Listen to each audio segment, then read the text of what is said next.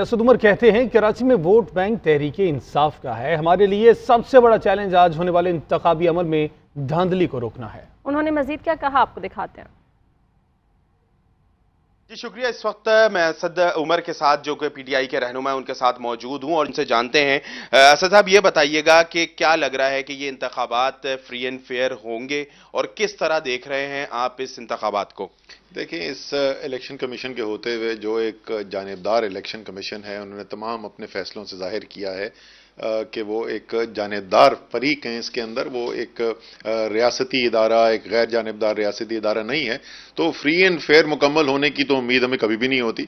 लेकिन अब हमें आदत होगी ये मुकाबला करने की इन्हीं के साथ। तो इन ताला फिर भी मुकाबला भी होगा और इंशाल्लाह जीतेंगे भी। अच्छा असद उमर साहब, ये बताइएगा कि एक तरफ़ एम क्यू एम है, जो माजी में एक बड़ी जमात रही, कराची की भी, और एक मेन जमात रही। उसके बाद इस वक्त सबसे ज़्यादा Jamaat Islami M Q M peoples party Tehreek Insaf क्या देख रहे हैं? किसका परला भारी है? और या आप भी उसी तरह जिस तरह पीपल्स पार्टी कह रही है कि मेयर उनका होगा, एमक्यूएम कहती है उनका होगा, जमात इस्लामी भी इसी लाइन में है कि मेयर उनका होगा। आप क्या कहते हैं कि मेयर पीटीआई का होगा या कोई मिल मिलाकर कोई काम होगा? देखिए, जाती तौर पे तो ज़ाहिर है, आप मुझसे पूछेंगे तो मैं ये बोलूँगा, तरीके इंसाफ का होगा, लेकिन चले, मेरी बात ना सुनिए आप।